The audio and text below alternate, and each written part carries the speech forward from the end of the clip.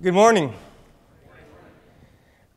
My name is Ori Brafman. I just emerged from about a year and a half of writing.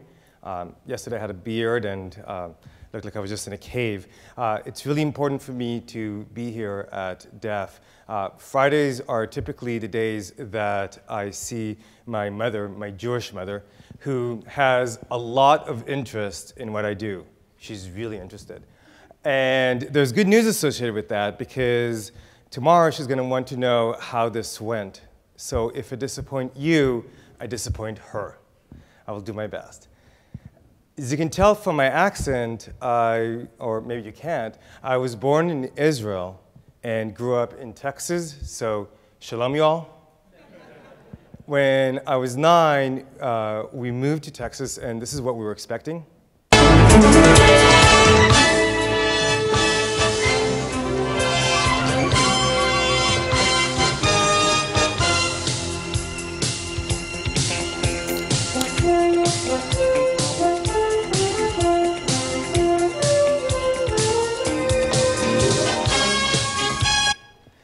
And this is what we got.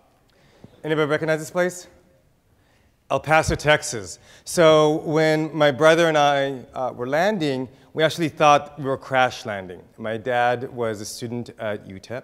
And after he finished, my entire family moved to the San Francisco Bay Area. Uh, I, I, did my undergrad at UC Berkeley. In case any of you uh, heard, UC Berkeley is considered one of the more progressive universities. Is that kind of new? Yeah?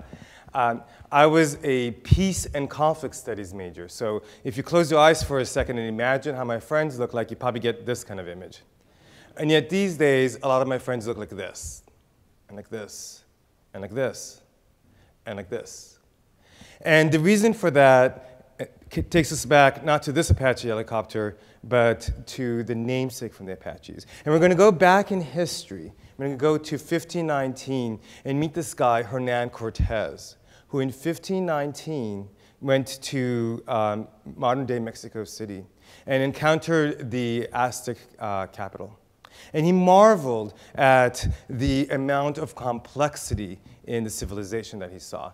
There were pyramids, there were roads, but he wasn't really there to do sightseeing, right? Uh, Cortez and his 80 men were there for one specific reason and what was the reason? Why is it, as soon as I can turn this on, why is it that Cortez showed up in the New World?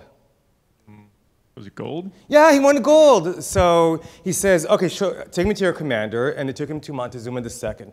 And he gives Montezuma II an ultimatum. He says, give me all your gold, I'm going to kill you. Now, you're Montezuma II, and I'm telling you, hey, give me all your gold. What do you say? No. Well, Unfortunately for Montezuma, he wasn't an American uh, fighter, so he said, okay, he capitulated. And he gave Cortez, um, he gives Cortez the uh, gold. But uh, Cortez is not a man of his word. He kills Montezuma, and he also blockades the outside of the Apache city. And within two weeks, 200,000 people die. And within two years, the entire Aztec civilization is wiped out. Now, there's a lot of reasons why the Spanish were so effective. First, they had a new technology, the horse, so there were 80 horses involved. Second, there was the introduction of biological warfare in the form of the diseases that the Spanish brought. Third, there was a lot of infighting. But you can't ignore the fact that a group of 80 soldiers with 80 horses is able to take down the Aztecs. And a few years later, the Spanish encountered the Inca and they had the exact same gig going. Give us uh, your gold choice to your leader, um, or we'll kill him. They kill the leader. And by the end of the century, the Incas are conquered. And it's with the winds of victory in their backs that the Spanish encounter a new tribe, the Apache. And unlike the Spanish, um, the Apache didn't have any roads. They didn't have any pyramids. What's um, the other problem of trying to get the Apache? I'm going to just leave this thing on. What's the other problem of trying to get the Apache uh, gold, or gold from the Apaches? They didn't have any gold. They didn't have any. Anybody been to El Paso, Texas recently? Not a lot of gold uh, around there, right? So say, well, the next best thing is you can adopt our agrarian lifestyle. And some of the Apaches went along with it, but some of them resisted. And here is the big difference between the Apache and the Aztecs that's going to be very relevant for us today. Instead of chiefs, they had folks called Nantans. Um, and the difference between an Nantan and an Aztec chief is the Nantans didn't have the phrase, you should. It just didn't exist in their language. So if you want to follow an Nantan, you can. And if you don't feel like following an Nantan, you don't have to. When the Spanish started taking out Nantans, new ones took over. And we all of a sudden have fighters like Geronimo. And we already all of a sudden have these Apache raiders. And here's the point of the story. The harder that the Spanish fought against the Apache, the stronger the Apache became. The harder they fought against them, the stronger the Apache became. This is the Apache territory when the Spanish first encountered them. And after 200 years of fighting first the Spanish, then the Mexicans, then eventually us, the Americans, this was the territory. It more than doubled. And in order to understand what's going on here, we turn to biology. When I was three years old, I had a friend named Danny Eshel. God knows what became of Danny Eshel because his hobby was to take the legs off of ants. So maybe he's in a prison somewhere, right? But what happens if I take a spider and I take off the leg of a spider? What happens? You're going to have maybe a spider hobbling around. What happens when you take the head off a spider? It dies, right? What happens when you cut off the arm of a starfish? It grows a new arm back. Why? How is the Spanish, uh, how is the starfish able to do this? Because unlike the spider, the starfish does not have a central head. Each one of the major organs are replicated across the arms. And scientists aren't exactly even sure how, uh, how starfish move. One arm goes this way and one arm goes the, this way. And think about that as a metaphor for business and society. And we're going to fast forward from the 16th century all the way up to 2001. And we're going to go to Boston. And there's this kid, and he liked to take a lot of naps. What was his name? Napster. So, um, do you remember what Napster did? Download music. Yeah, exactly, right? Download music is a very nice way of talking about it, right? He basically took music that was owned by the record labels and uploaded it to a server and shared it with his friends. Now, let's say that you're the head of, I don't know, a uh, Sony Music. What do you do? Sue them. Exactly, you sue them. That's the American thing to do, and it's an open and shut case. You sue them. And Napster goes out of business. But the moment that Napster goes out of business, there was a new company called Kazaa that, unlike um, Napster, didn't have a centralized server. So there's still silly music. What do you do with Kazaa? It continued to regenerate. And you were the head of the music industry. What do you do? You tried to contain and stop and cease and desist. If only they sued them as well, and they sue Kazaa out of business, which now eventually gives us Emule. Who are you going to fight? No one knows who created Emule. The point of this is that the harder that you fight a starfish, the stronger it becomes. And we're going to fast forward even more in history to 2002 and to this guy. Anybody recognize who this guy is? Kim Dotcom, great. Tell us about Kim Dotcom. He actually changed his name to Kim Dotcom. He is, um, I think he's in prison now. Um, I think he did like dark web stuff, or he, I don't know. There you go. Um, he did Megaupload, which was exactly like Napster, but just for videos. And he lived in New Zealand, or he was in New Zealand. And you're right, he actually, not only was he sued, he was arrested and put behind bars. And this is a quote from him. A year ago, we were in a cell with only toilet paper and a blanket. How long did it take Megaupload to go back online? A couple months. He went from this to this. And we're going to look at a third example. Anybody recognize what's going on here? Where? Drug sales. Don't tell my Jewish mother. Where, where are you? Uh, who, knew about, who, who knew about the uh, Silk Road? Silk Road. So tell us about the Silk Road. We see some pretty nefarious stuff up here. Yeah, it's uh, it's just on the dark web, so people you know think that they're doing anonymous transactions for you know illicit stuff. We're seeing some pills, we're seeing some green stuff, we're seeing a lot of stuff that uh, should not be sold. You can actually even buy a hit on someone uh, through uh, the Silk Road. Now, the Silk Road is run on the Tor uh, browser. Who introduced Tor? We did. We built it for anonymous surfing. And it uses blockchain technology and Bitcoin based on starfish principles. But you have these people selling illicit things online. The government surely needs to do something. And they knew that it was run by some guy, but they weren't exactly sure who. And almost by accident, the uh, US Postal Service intercepted a package from Canada. And in it were eight passports. And they all had this, the picture of the same guy, but from a different identity and different names. And they're like, maybe we should find out who this is. So they go to the San Francisco, um, they go and they track him to San Francisco. And he turns out to be in the San Francisco library. And they arrest him right there at the San Francisco library, public library. And it's this guy. And he goes uh, on trial and actually gets life in prison for all the people who uh, died of overdoses because of the product. They also take the Silk Road down. How long does it take the Silk Road to go back online? Two hours. The harder that you fight a starfish, the stronger it becomes. Now, as soon as this guy gets arrested, there's a new guy from Dread Pirate, who was his nickname, to DEF CON. This guy.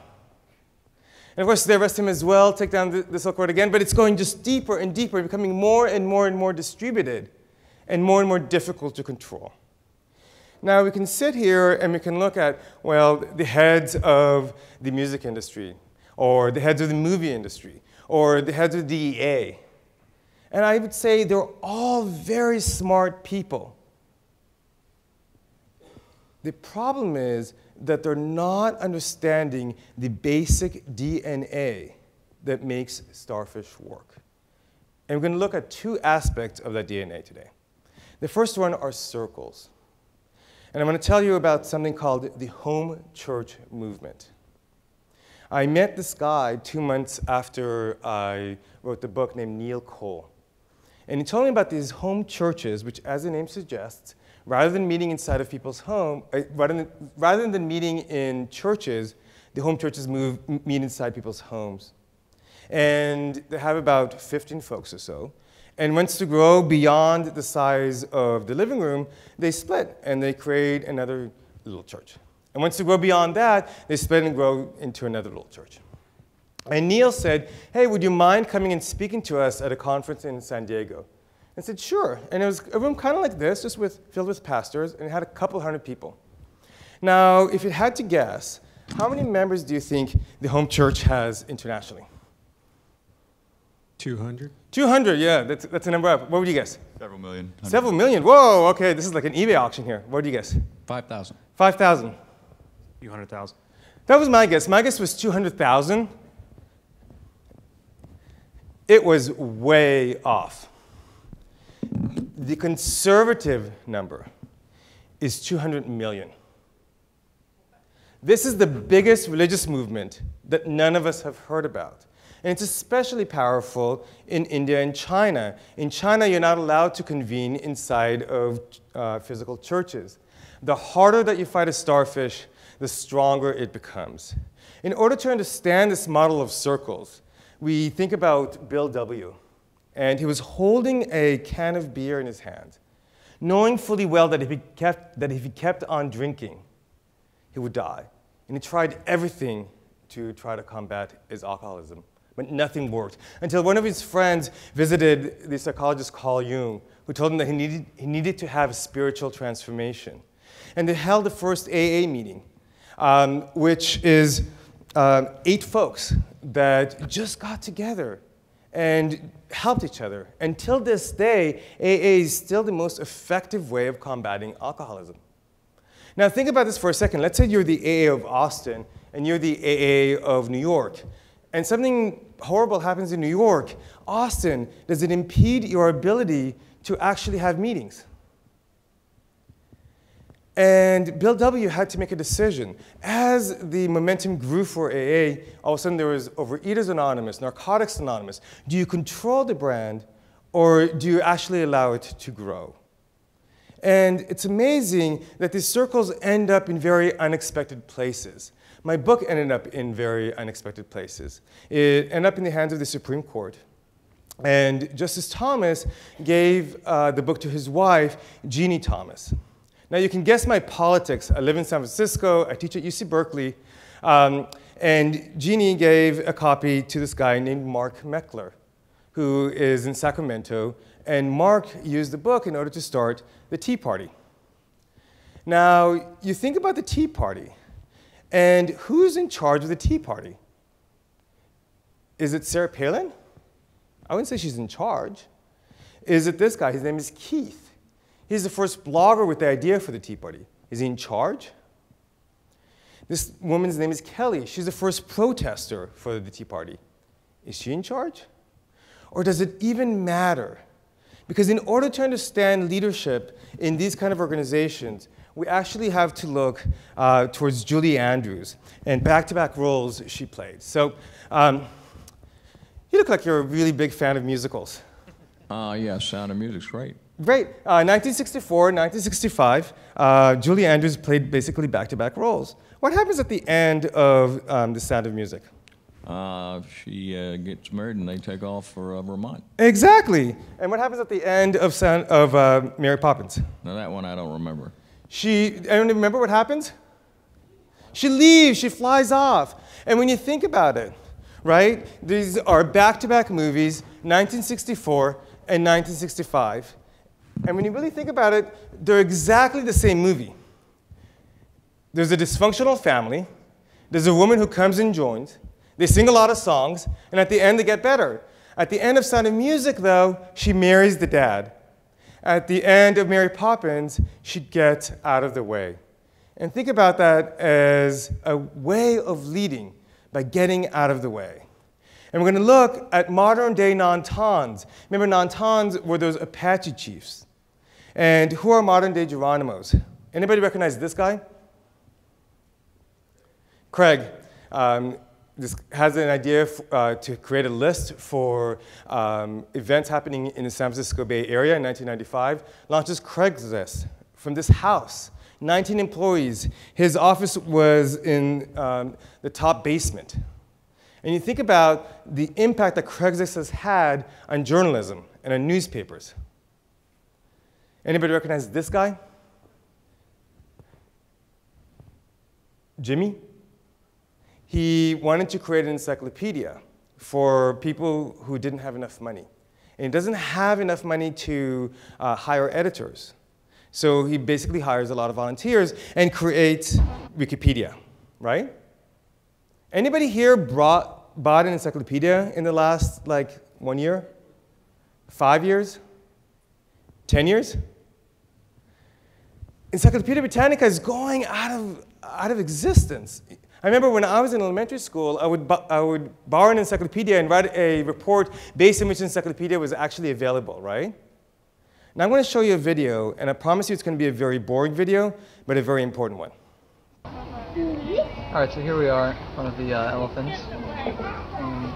Cool thing about these guys is that, is that they have really, really, really long um, fronts, and that's, that's cool.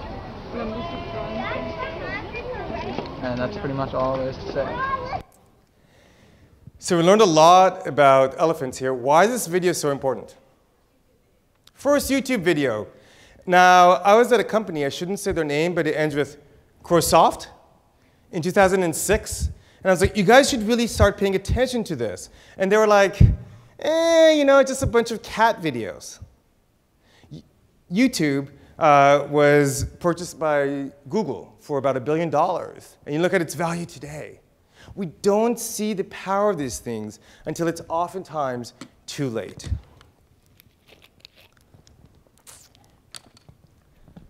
And this brings us to this guy. So remember, I went to UC Berkeley, uh, peace studies major, and I'd never had a conversation with anyone in uniform.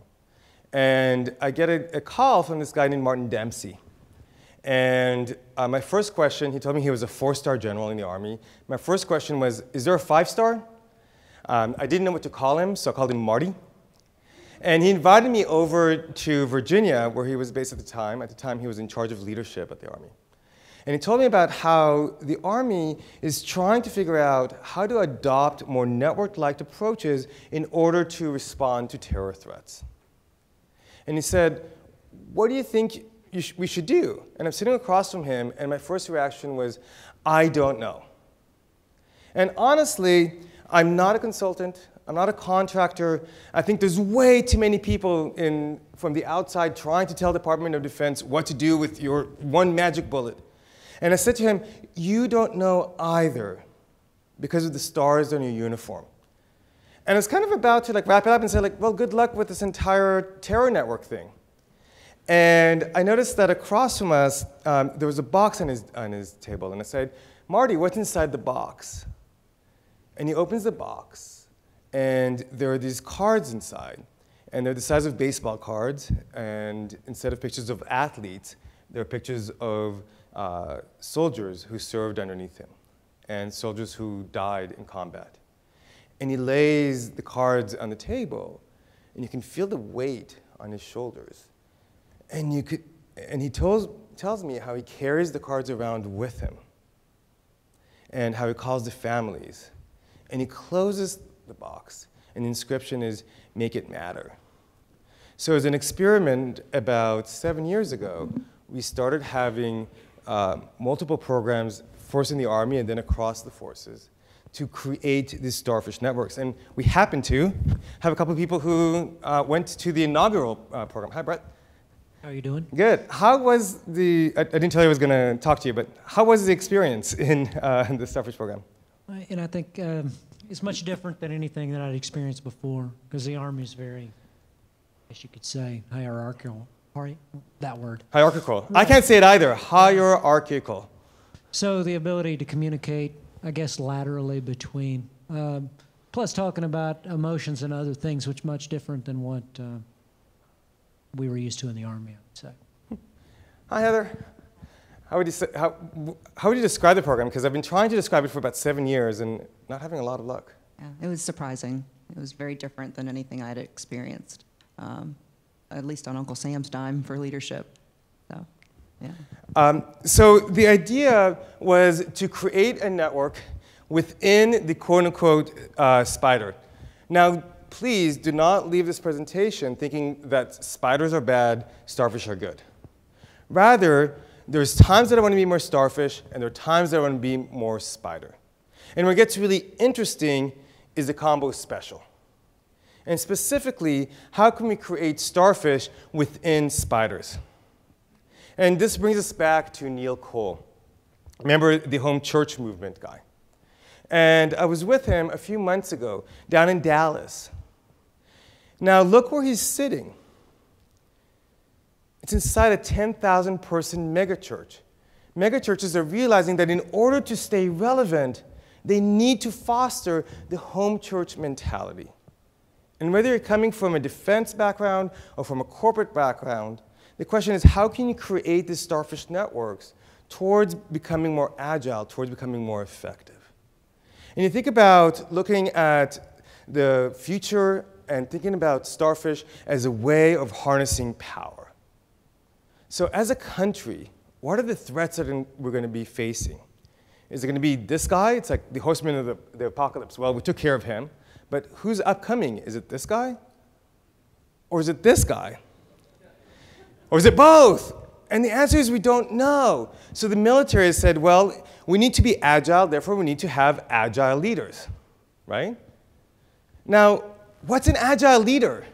Has anybody ever heard of someone who is really rigid and they go to like a five like hour uh, program and they come out being flexible? Two day program and they come out flexible? Five day program and they come out flexible? Anybody heard of this? I don't think you can really teach someone to be agile, but I do think you can create an agile network around you. And here's what I mean, and this brings us back to the networks. And we're going to use terrorism as, as an example for just a sec. Imagine you're doing a, um, you, you're trying to blow up a bridge in Iraq. You're probably going to get someone who knows a lot about ammunitions, maybe someone who knows about cell phones, and you're going to activate them depending on the context of the situation. Now, the nodes of the network need not be agile. The nodes don't have to be agile. It's a connection between them that's distributed.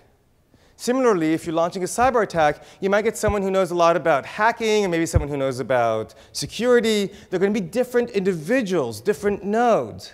And you're going to activate them depending on the context of, this, of the situation. Similarly, in your organization, how can you create a network where you can activate different nodes depending on the context of the problem? And we're going to look at um, four specific ways that you can take with you in order to leverage Starfish within your organization. The first is the idea of finding knowledge from the edge of the network. And we're going to go to the field of medicine for a second and see how trash cans are saving lives. Anybody recognize what's going on here? This is staph infection, uh, antibiotic resistant staph infection.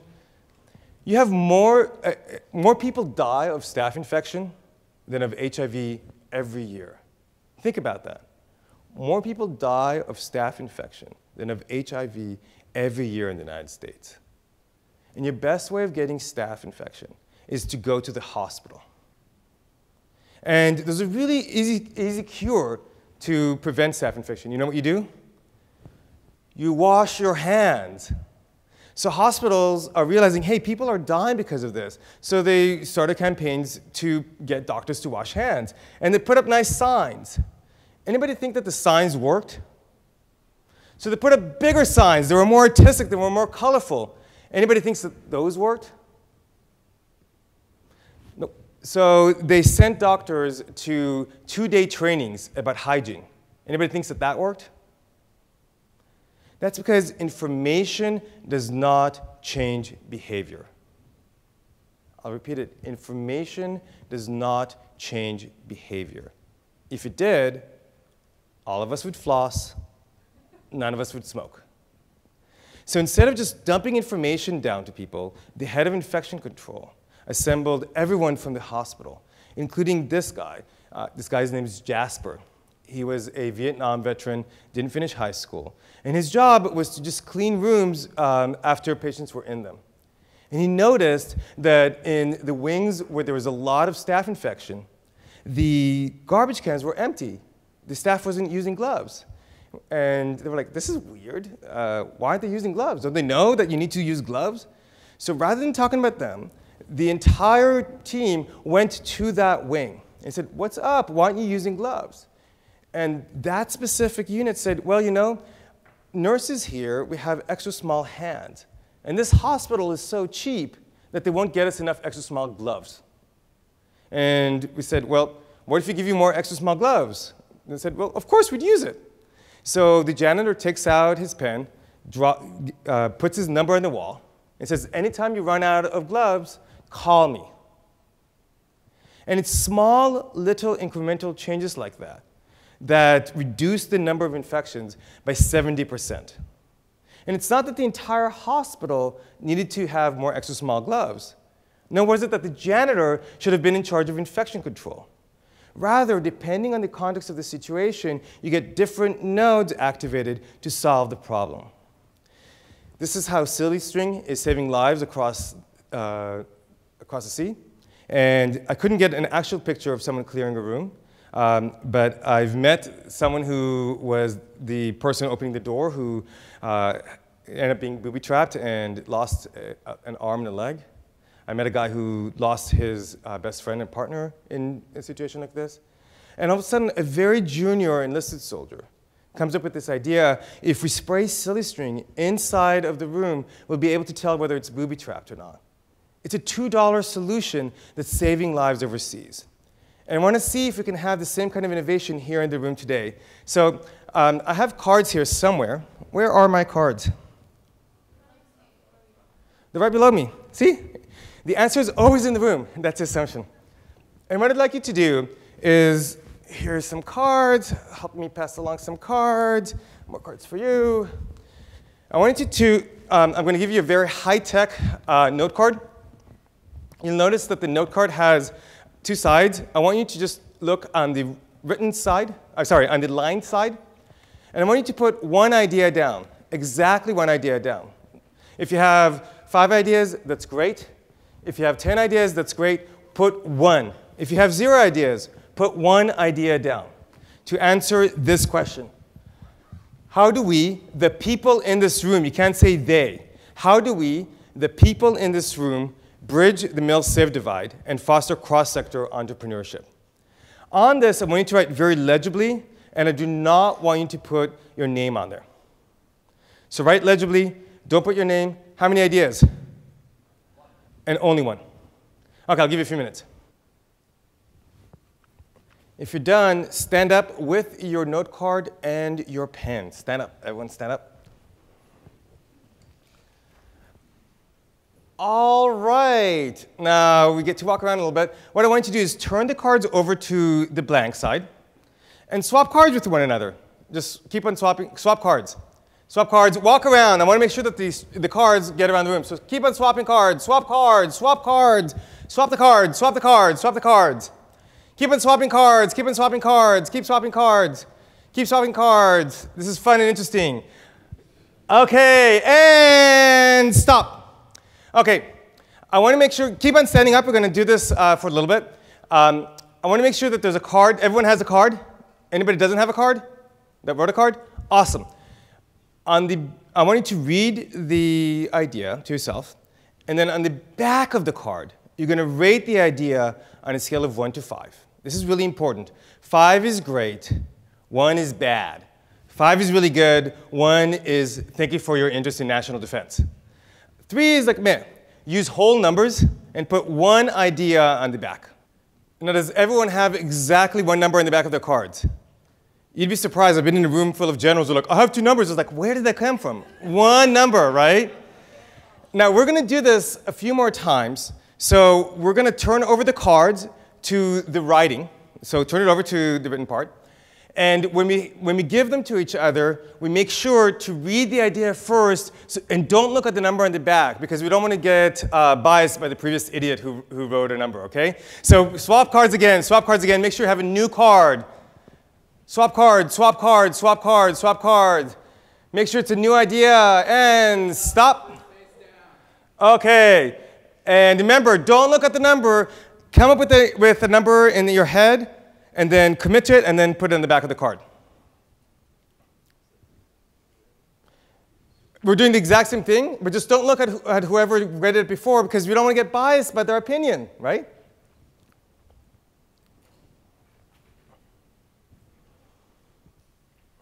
Okay, at the end of this, how many numbers should we have at the back of the cards?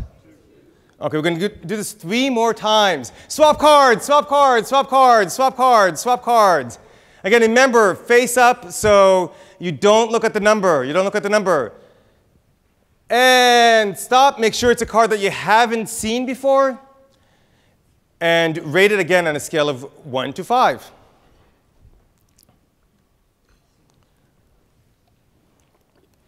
If you've seen something before, make sure to just uh, trade it with a friend.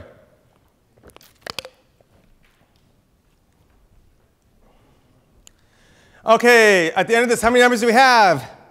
Does anybody not have three numbers in the cards? You guys are awesome. Swap cards again, swap cards again, swap cards again.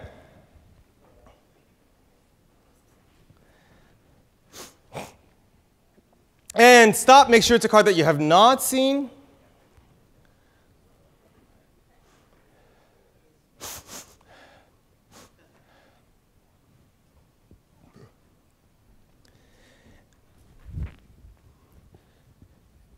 And how many numbers do we have now? Perfect. One last time, swap cards, swap cards.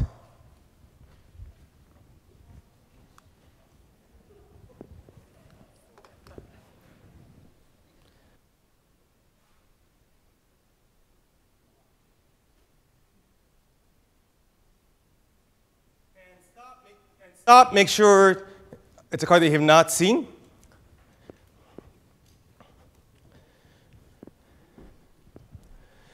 All right. And at the end of this, we should have five numbers at the, at- at the cards, right? Not time to sit yet. We're going to stand around the perimeter of this room. So just kind of stand around in a U shape along the wall. Just everyone stand along the wall. And as you do that, I want you to look at the five numbers on the back of your card and add them up. This should be pretty easy. If you need help, you can uh, use a calculator. And you should have a number in the back of your card between one, um, 5 and 25, right? Circle that number or put a square in it or put a triangle, whatever you want. And I'm going to do a reverse auction. I'm going to find out whether there's any 25s, etc. And if I do that, I'm going to go to you and you're going to read the card.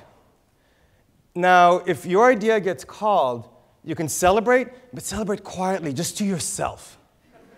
For this to actually work, we're not going to share whose idea was whose. If you're really, really happy, you can get in touch with my mom, and she'll be very proud of you. But this needs to remain confidential or anonymous. So, with that being said, are there, I'm going to get my exercise in a sec. Are there any 25s? Tough crowd. 24th. Hi, what's your name? Just, Hi, I'm Jen. hi, Jen. Um, is this on? I, I don't know. No, it's not. Reflect for a second about how good of an idea that was. Okay. Okay, Jen, what So- was the idea? The idea is to create tours of duty for private sector managers to serve in .gov.mil services. Great idea. Read it one more time, a little bit slowly. Create tours of duty for private sector managers to serve in .gov or .mil services. Wonderful idea. Thank you. Any other 24s? 23s? 22s? Okay, we- we- oh, okay. Uh, this, this will give me my tour duty. Get it? Tour duty? Uh, okay. Take a soldier to work day and take a corporate worker to war for a day. Interesting. Read it again. Just, it's a really good idea. Take a soldier to work day and take a corporate worker to war for a day. Wonderful idea. Hi. All right, this is a little long. By creating better military to academic networks, and then a bunch of sub-bullets, we send military members to advanced de- degree programs in civilian universities. Uh, military members earn a degree, MA, PhD. And last one, we fail to enable or give opportunities for the military member to maintain, grow, leverage the academic network they grow during the school. Whoever said that, thank you. You'll find out in a bit, but that's a really good idea. Any other 23s? Are you the uh, first one? 23. 22. Sorry, I forgot. 22s. Da, da. Ah. this is my PT for the day. Hi. Hi. How are you? Good, thanks. Um, deeper cross utilization programs, fellowships that bring military into industry and industry into military to expose, inform, involve, and tackle emergent, emergent issues. I see. A really good theme. Thank you. Another 22. These are really good ideas. Okay. Yeah, mine's along the same vein. Implement cross-discipline program for professional training and education. Business leaders in bed with military, and military leaders in bed with business. All right, metaphorically. And other 22s? Awesome. Anybody have a 21 that has not, that is, not, that is of a different theme, that's very different than what we heard? Okay. Or is PT is happening now. Okay. Have dinner with them. Oh, all right. Thank you so much. Uh, if you can pass the cards, just uh, put them on this table and we'll give them to the DEF folks. Um, and then have a seat. Cool. How is that like for folks? How so? What's the problem with brainstorming? What are some problems with brainstorming? Brainstorming is awesome, but what's the problem with brainstorming? Everyone converges on the same thing. What's another problem with brainstorming? Yeah? You can't tell. Like, what's the first thing we did here? We let you think for a second. Uh, three minutes. What's another problem with brainstorming? It takes a lot of time, an hour that I don't have every day to come up with new ideas. What's another problem with brainstorming? Uneven contribution. If I'm sitting there, no one ever gets fired for not innovating. Why would I start try to risk myself? What's another problem with brainstorming? Introverts. Any introverts in this room? Of course, you're not going to raise your hand. You're introverts, as you might have. As you might have guessed, I'm an extrovert, but extroverts, we like talking and doesn't give introverts enough of a chance to pop in. There's a really interesting uh, study that shows that the amount of effort it takes to participate for the first time in a group is much, much higher than the amount of effort it takes to participate a second time or a third time. What's another problem with brainstorming? Bias. You're the problem with brainstorming. If you're in there and you're running a department or a unit, they're going to tell you what you, they think that you want to hear. What's another problem with brainstorming? You make yourself vulnerable.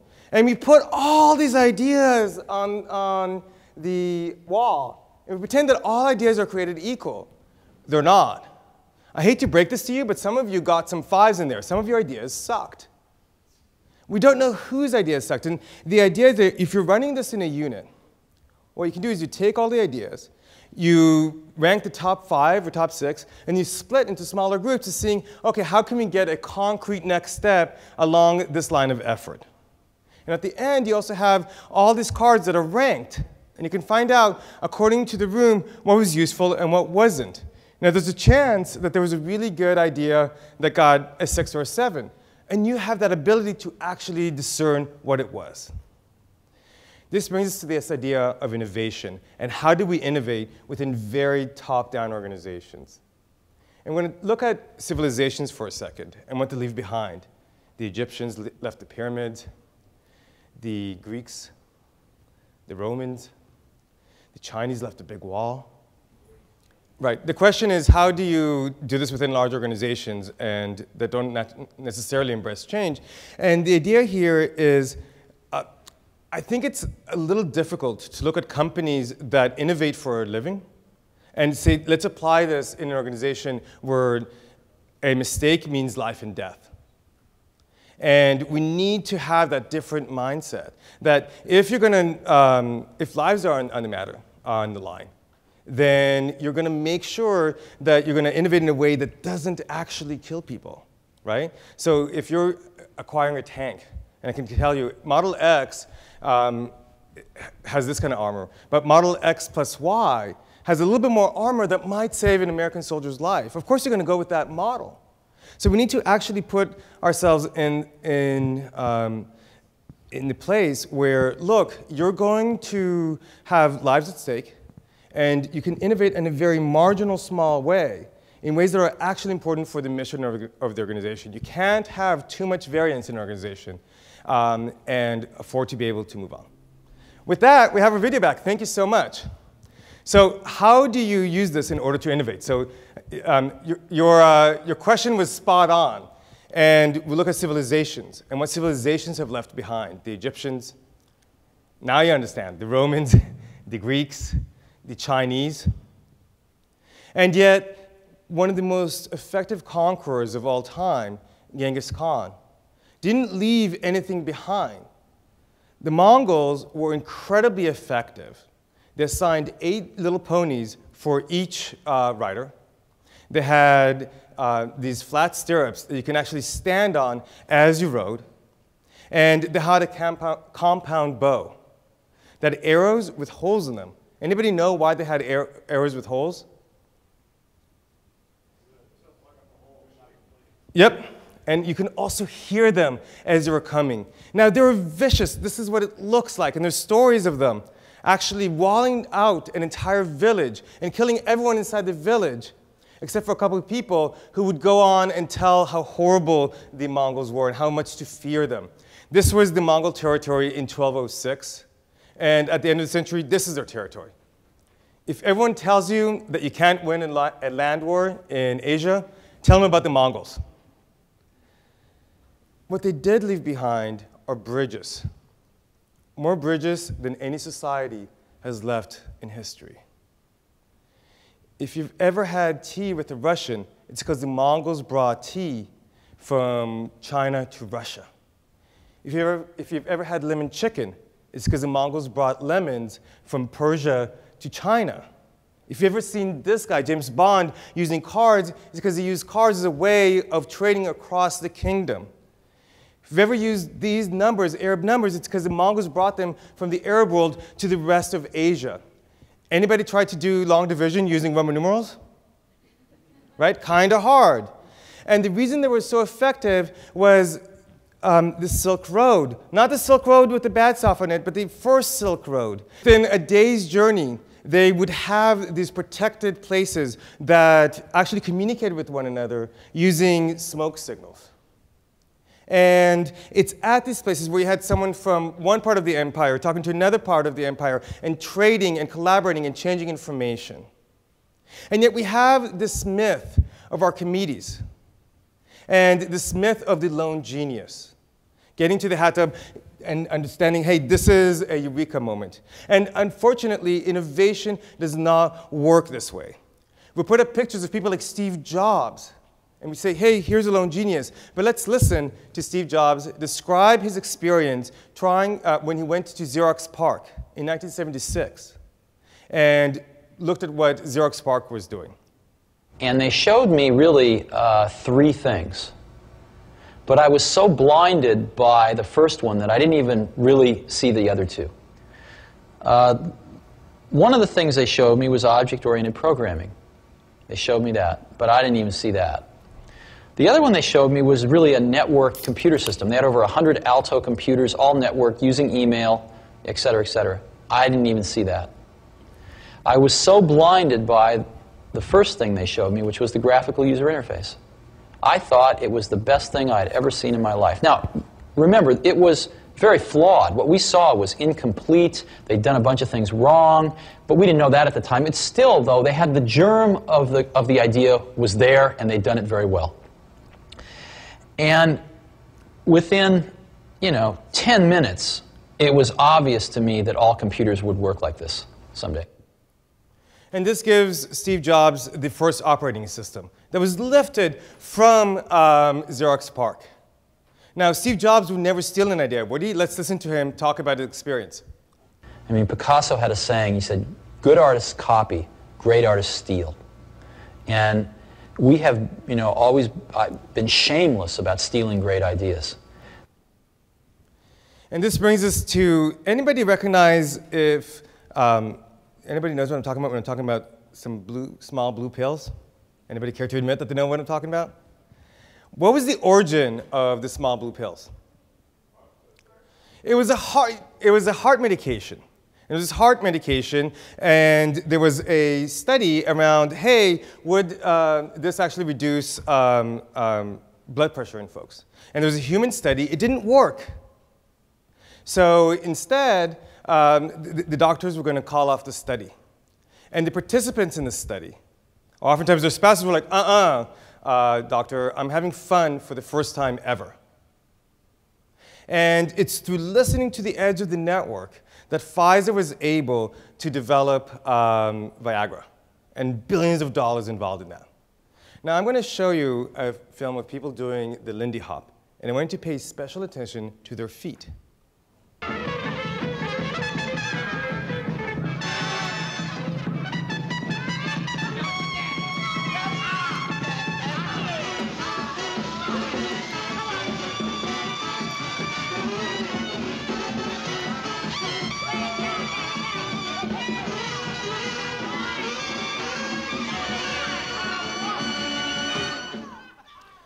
We're going to fast forward two years later, and this is the BBC studios. Take a look at the film.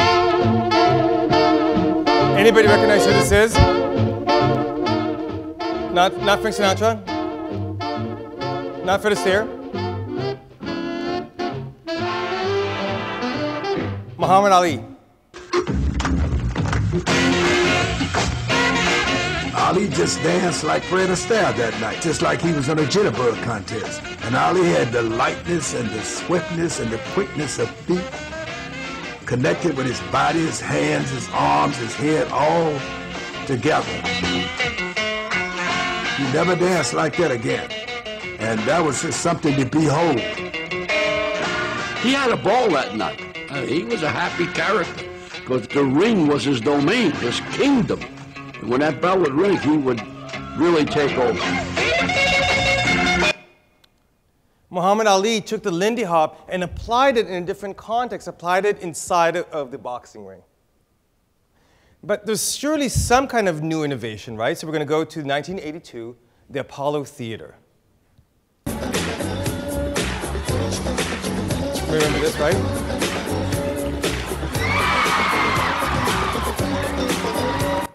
Right, kind of cool, something, right? 1956.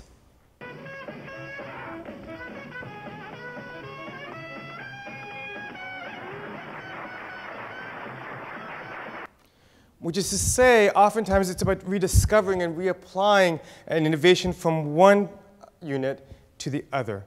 Which brings us to this guy. Anybody speak Russian? You all will soon.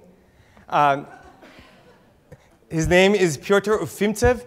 He was a Russian mathematician who had this really abstract concept about how geographic planes would deflect radiomagnetic energy. And the Russians were so interested in what he had to say that they let him actually publish uh, internationally, which is they didn't care at all, because at the time this was the height of the Cold War. And these American scientists happened upon uh, Pyotr's uh, research. And they run an experiment, and they put an object under radar, and lo and behold, it disappeared, which gives, gives us a stealth fighter. The Russians had everything they needed in order to build it. They just couldn't see what was underneath their noses. Think about that. What ideas exist in your organization that you just can't see? And how do you draw that knowledge from the edge? Anybody recognize what's going on here? I show this to my undergrads, they're like, what is this? So there's a lens, there's some transistors, that's a cassette tape. This is the world's first digital camera. 1974. Do you know who was invented by? Kodak. Kodak just files for bankruptcy, right? They were afraid of um, taking their film business and taking away from their film business. The third idea here, and the third takeaway, is that you need to recognize that the new generation is operationalizing play. What looks like little games that Pyotr is doing on that digital camera is actually really serious. And I want to talk to you for a second about um, Occupy Wall Street. It's easy to dismiss what they were doing. And it's easy to think of this next generation as just self-absorbed in their telephones. But I think in order to, under, trying to understand what's going on in today's world without looking at Occupy is like trying to understand rock and roll without understanding Woodstock. Now, what was so efficient about Occupy is that they were able to uh, leverage a couple of things. And they were able to leverage things that looked like toys before. So anybody recognize what's going on here? Exactly. So this is a toy from the year 100. There's a fire, there's a cauldron full of water. The water heats up and creates steam, and it rolls around and around and around and around. No one really cared about this until 2,000 years later, which gives us the steam engine. This is a video from University of North Carolina from a couple of years ago. Doing finals, students were trying to let off some steam.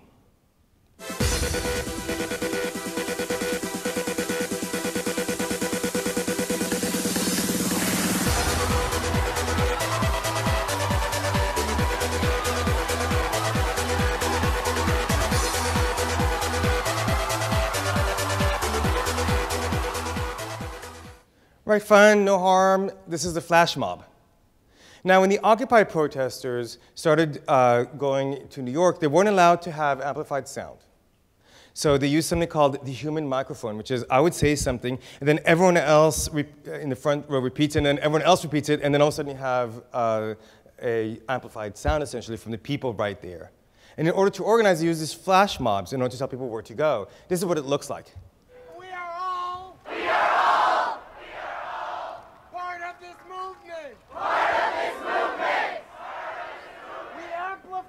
each other's voices. We amplify each other's voices. So we can hear one another. So we can hear one another. So we can hear one another. There is no. There is no. There is no. Hierarchy. Hierarchy. And at the end, they have a deaf clap. So everyone do this with me? Deaf clap? Come on. Yay. Okay. I didn't see it, everyone. Okay, deaf clap, everyone. Yeah, yeah, okay. Um, so let's see what he's saying. We're all part of this movement. We amplify each other's voices so we can hear one another. There is no hierarchy. And rather than concentrating at what he's saying, can we concentrate at how he's saying it? Anybody find something interesting? He's speaking in tweets. And you say, well, nothing ever happened from Occupy, right? So let's fast forward a couple years to Walmart. And all of a sudden, Walmart was starting to have some issues with their employees and whether they were paying them enough. Now, see if there's anything familiar in this protest against Walmart.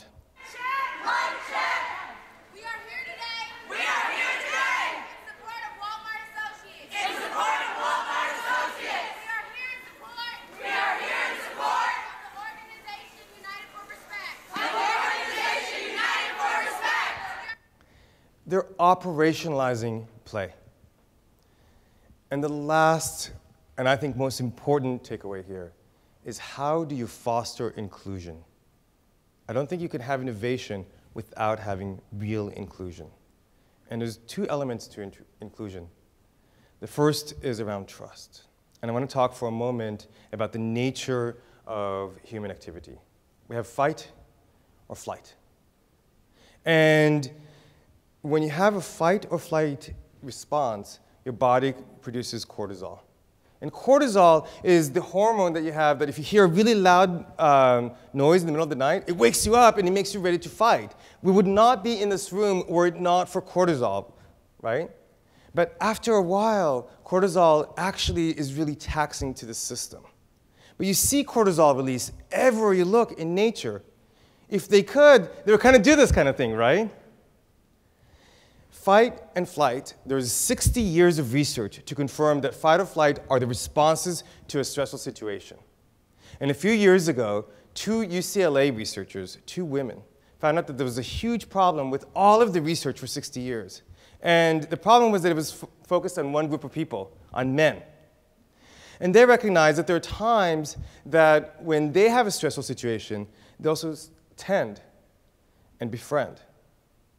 And think about tending and befriending as a way of fostering trust, of fostering innovation. And when you tend to befriend, your body produces oxytocin. There's a lot being written about oxytocin. A lot of it is kind of mumbo jumbo. What we do know about oxytocin is that it's a chemical that is released when a mother delivers her baby. And she looks at her baby and falls in love instantly.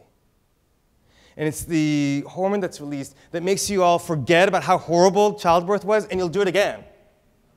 And the question is how do we foster a little bit of oxytocin?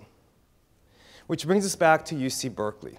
I teach there, and I recognize that in order to bridge the divide, we need to have some levels of conversations, some way of having people like this meet people like this. And I brought a couple of folks who I met through the Starfish program and brought him to Berkeley to lecture. And this is a guy named Chip who was in front of a room of 500 people. And rather than talking about politics, and these are all Berkeley students, he talked about experiences from overseas. And I was sitting next to a woman in a hippie dress, and I saw her actually crying because she never recognized what you all have actually gone through. How can we share these human stories? Afterwards, um, the class actually sat down with, with a couple of those folks on the grass, just talking about their experiences. And the Berkeley program was so powerful that we started implementing it. Um, with National Defense University, we now bring 30 people from the Army for two weeks uh, on a broadening program where they get to really be a part of this community. And the idea here is not just to have inclusion, it's to have radical inclusion. The title of our book is Radical Inclusion what the post 9 11 world should have taught us about leadership. And I'm writing it with Marty Dempsey. The idea being that inclusion is no longer nice to have, it's a strategic imperative. And with these army groups, we actually got them embedded in the community. So there are these, all these arts fairs happening in San Francisco all the time. We said, why don't we volunteer for you? Why don't we help you build some of this art? And here you have a bunch of enlisted and officers erecting an art piece, and the, and the artist who's sitting there in the left is like, Who are you? And they're like, We're Army. And they're like, Really?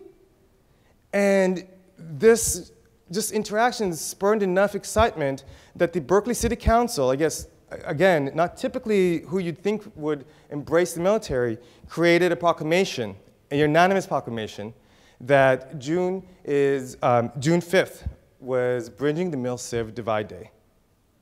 And if Berkeley and the military can just come together for a moment and say what actually unites us, imagine what we can do as a country. The idea here is that we can change the context of the situation. Now, let me show you a group of fish. What would you say about the fish on the right? What would people say? Hungrier, faster, smarter, he's the leader. And if I show this uh, cartoon indeed to a bunch of high school kids from America, that's the interpretation they'll give me. If I show the exact same cartoon to kids in China, what will they say? He's weak and he smells, he's ostracized.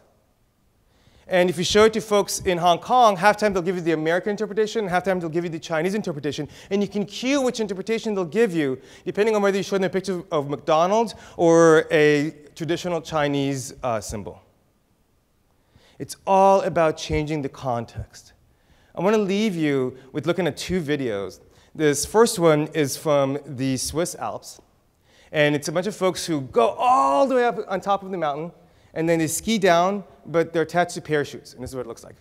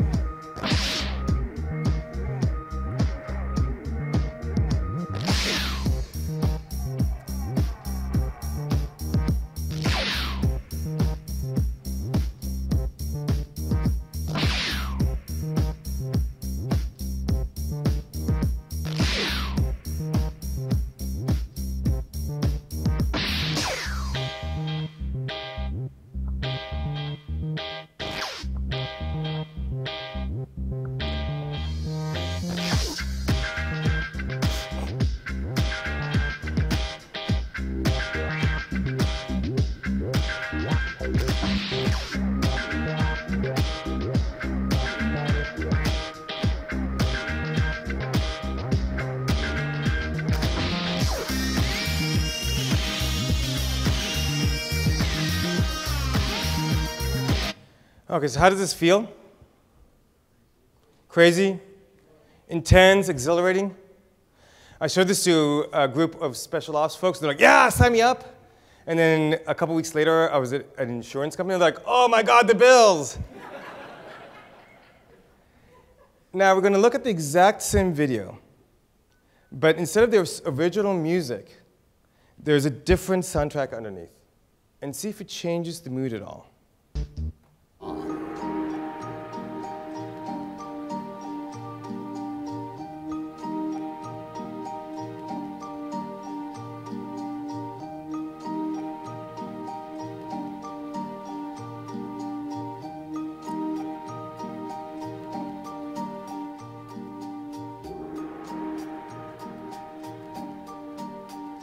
All of a sudden you can see some of the beauty.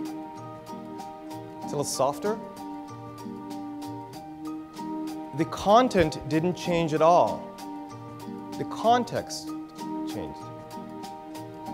And wherever you are in an organization, you can change the context. You can change the way that we're speaking about things. Not for everything, not always, but have those tools.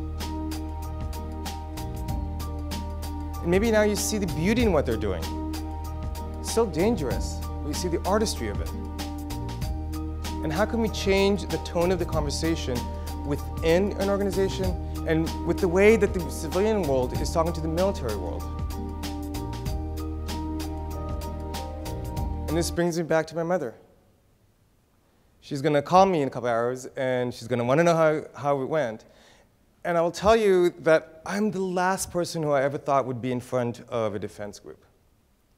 But what you're doing matters. And I'm passionate about it. And recognizing that we can build these bridges, that we can create these networks to become more agile, that we can actually empower the edge matters to me. This is my personal email please get in touch, and I will be here for the next couple of days. But thank you for taking the time. I really appreciate it, and I'm looking forward to continuing the conversations. Thank you.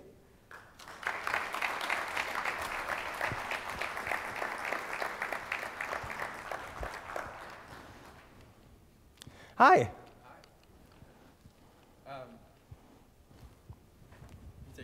No, I, I, don't know. I, am hanging. Yeah. Um, please uh, join me again in a round of applause. The previous one just did not do justice. Um, for a person to kick off uh, this weekend with the, the ideas, the style, the, uh, the professionalism of, of this, and his uh, incredible patience with uh, technical issues. Um, personally, thank you. Thank you for being here. Uh, thank you for supporting us. Thank you for being a non-ton in your own and being part of this total, you know, decentralized movement to help improve the way national security is. Awesome. Um, thank you. Thank you.